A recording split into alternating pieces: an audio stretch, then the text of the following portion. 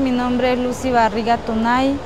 vengo del departamento de Chocó, pertenezco al municipio Ismina, mi comunidad se llama Puerto Olave. Esta manualidad yo la aprendí al lado de mi madre desde los 14 años. La verdad lo que más me gusta es que esto nos identifica a nosotros como como mujer que somos indígenas, aunque hemos pasado por muchas dificultades a la raíz de, los desplazamientos y los conflictos que hay en nuestro departamento y nuestras veredas, en estos momentos si la venta se, se, puede dar, obviamente que cada familia o cada, cada persona va a llegar con su,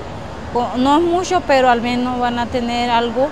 para poder comprarle algo a sus hijos, para poder comprarle algo a los niños que están estudiando, a la familia, darle, aunque digamos el diario. En Esportesana en estos momentos me he sentido bien porque nos han tratado bien, pues hemos eh, tenido la oportunidad de estar aquí por ellos y presentar nuestro producto.